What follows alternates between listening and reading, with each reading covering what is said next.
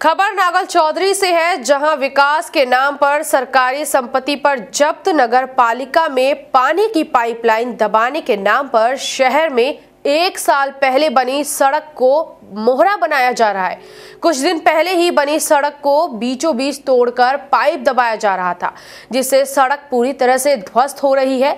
लेकिन नगर पालिका का या जन स्वास्थ्य विभाग का कोई भी अधिकारी या कर्मचारी कोई सुध में नहीं है। इस मामले में जब मीडिया ने वार्ड नंबर आठ की महिला पार्षद से बात की तो इन्होंने क्या कुछ कहा? आइए आपको सुनवाते हैं। तो पूरा रोड डैमेज कर दिया और जब जैसे ही मान लो मेरे को पता लगा भी कि रोड में जैसे जैसे भी चल रही है पानी की लाइन के लिए तो मैं वहाँ पे गई तो उन्होंने पूरा रोड डैमेज कर रखा है। विद टाइलों के साथ ही उन्होंने पूरा रोड उखाड़ रखा और सेंटर से ले रखी है पाइपलाइन। तो ऐसे तो नुकसान ही हो रहा है सबसे ज़्यादा तो मेरे वार्ड में तो।